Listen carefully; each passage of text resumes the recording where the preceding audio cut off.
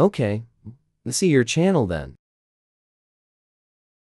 How does bro have that much? Does bro own a Cyrus? So all Let's his clowns this! can sub? What is this content, bro? Now, sub.